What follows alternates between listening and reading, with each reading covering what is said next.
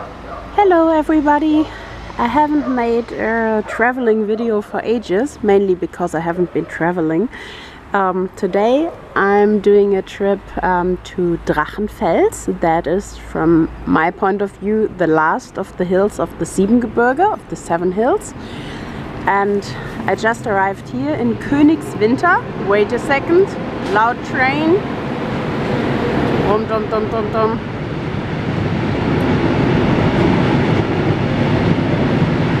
Oh my god, that's a long one. Well, maybe you can understand me anyway. I hope you can. No clue where the microphone is in this camera. I'll just give it a try. Anyway, I arrived in Königswinter, which translates to King's Winter.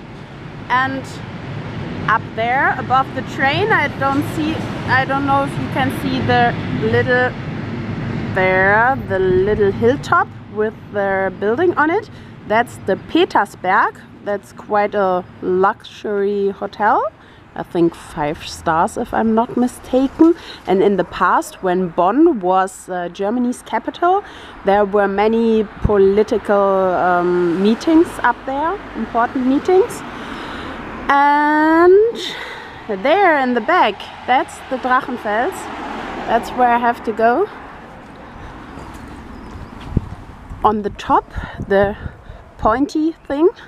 That's the ruin of the old Drachenfels castle.